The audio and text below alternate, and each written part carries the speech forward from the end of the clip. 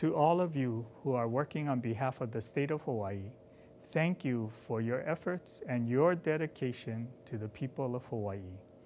Your commitment is helping our families, friends, and neighbors during this challenging time.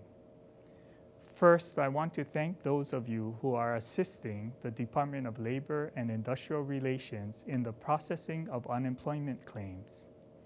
From the DLIR building to the sandbox and now the convention center, you are making a difference.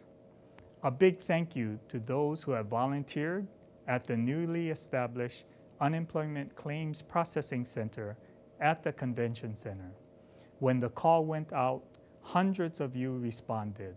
Your selfless acts will help provide much needed financial relief to those who have lost their jobs due to COVID 19. I also want to commend you and everyone in our state for your collective efforts at social distancing.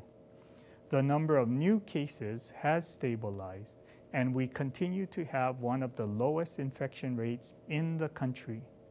And we are flattening the curve. Despite this, we have lost a number of people to this disease. We are saddened by their deaths and the toll the pandemic is taking on the families and friends of those affected. I know this has been a difficult time for all of us, and we all want our lives to return to normal. We are looking at how we can begin the process of relaxing the social distancing restrictions. But the worst thing that can happen is a recurrence of cases. And my primary focus is protecting your health and the health of our community. So any decisions made will be based on facts, science, and the guidance from our healthcare advisors. And we anticipate making some announcements soon. I will keep you informed when any decisions are made. And finally, I want you to know that we have not made any decisions regarding salary reductions or furloughs.